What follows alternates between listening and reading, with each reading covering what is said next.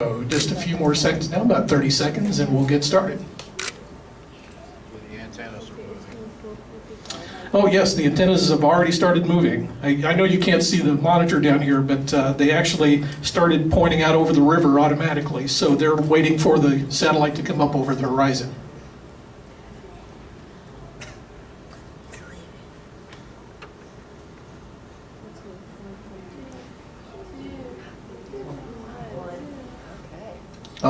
And you can see on the polar display, it uh, just popped up.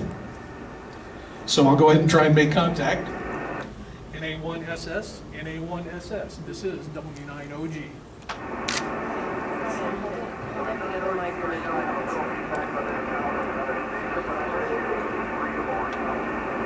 All right, NA1SS from W9OG. Yes, you're a bit down in the noise, but we did copy that, and we do understand that you're copying us. Uh, so uh, we'll give it another try here. I just wanted to say good morning, at least this morning here for us, and uh, welcome to the Evansville Museum of Art, History, and Sciences and the Evansville Day School. They would like to say hello. Okay, that was loud and clear. It's uh, great to be talking to the Evansville Day School today, and uh, I'm ready for the questions if you are. Uh, we're ready. Here's the first question. What time zone do you go by when you're in space? Over.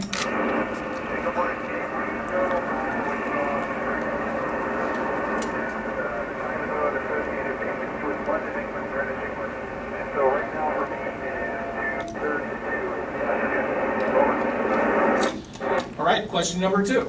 Does it smell different in space? Over.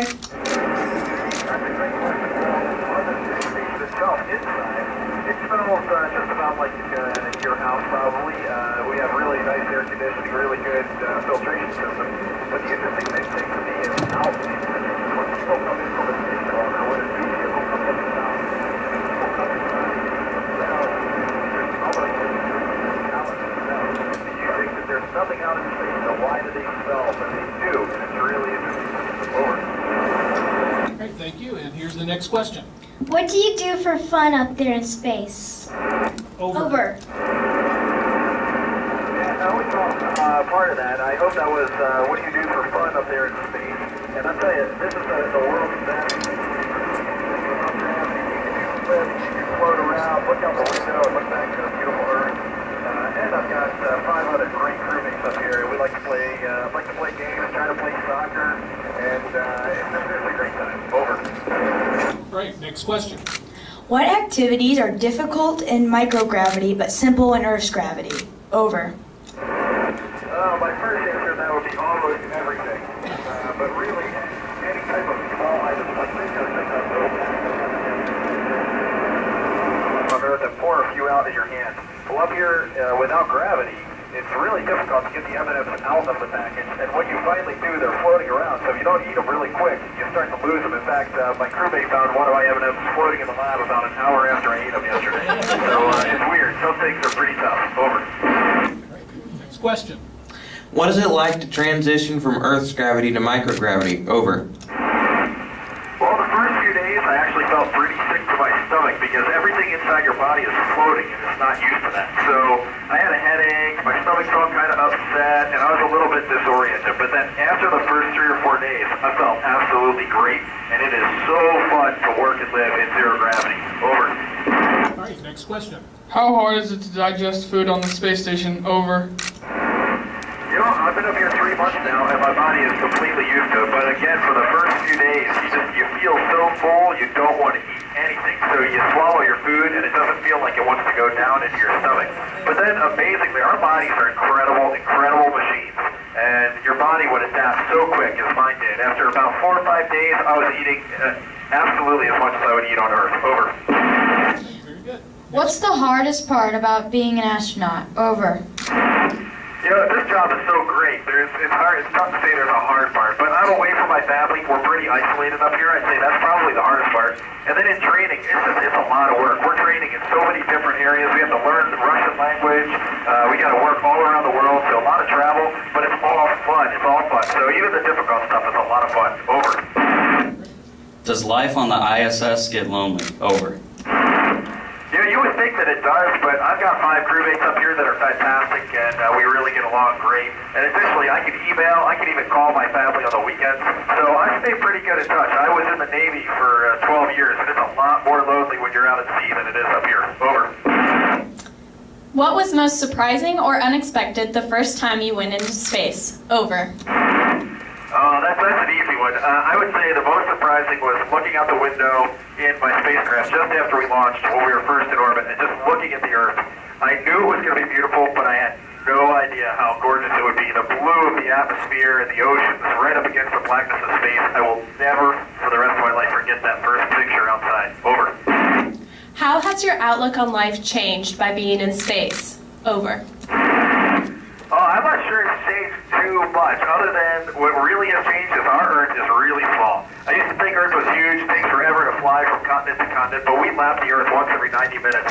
And uh, I've seen every continent, most countries, and, uh, you know, it's a small place. We need to take care of it. Over. Could everyday civilians become accustomed to space travel? Over. Uh, no doubt about it. I think, uh, barring a few maybe medical issues, uh, it would be tough. I think if you had heart problems to come up here. But other than that, I think anybody can come up here, and after about a week, they would be adapted. And uh, I look forward to seeing that in the future. I think a lot more people are going to be flying into space in the next couple of years. Over. Which of your research projects has been the most has the most scientific potential? Over. I've only been up here for three months, so what I've been working on, I don't think is going to change our lives on Earth. But uh, my favorite stuff, I've been working on flame research to see how fire burns in space, how different fuels behave, and I think that'll help us when we build spacecraft to go into deep space. And then another one that's really interesting to me is called a capillary flow experiment. And water and all liquids behave really weird in zero G. And this one's uh, run by a German company, and I really, I've really enjoyed watching this. They're actually moving fluid around without any mechanical devices, just using capillary flow. It's really neat to see that. Over. How long do you stay up there? Over. Over. Yeah, that's, I, I've been up here three months, and I got about two and a half to go. So in total, I'll be up here 166 days. And, uh, but I tell you, I'm going to miss it when I leave. Over. What training did you do to become an astronaut? Over. Well, I think that starts all the way back in school. I always loved engineering and science and math uh, for the most part, especially from high school on. And so I wanted to become an engineer, and I loved aviation, so I wanted to become a Navy pilot, which I did, and uh, flew aircraft for 12 years. And then when I got to NASA, then the, the real astronaut training begins. Russian language, robotic arm training, spacewalk training, uh, you name it, we basically did it. Over. How do you go to the bathroom in space? Over.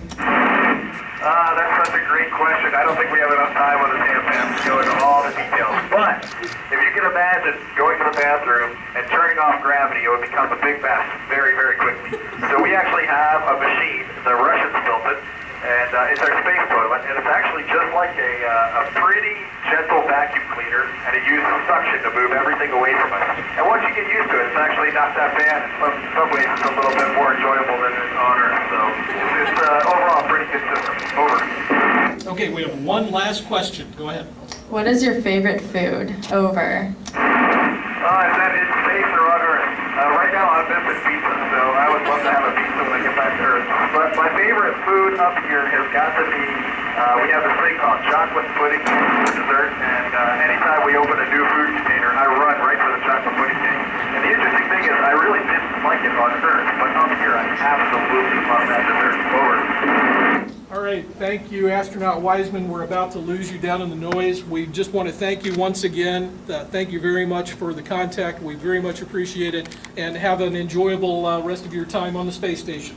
Good, Good luck. NA1SS from W9OG. Okay, thanks so much, everybody. You have a good old day at school. I really appreciate talking to you. Good luck, and take care. Have a great weekend. All right, He can't hear you, but.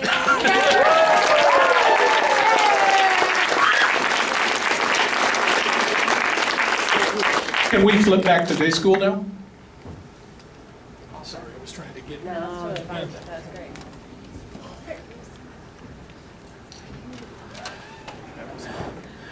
Hello, day school. How did you like that?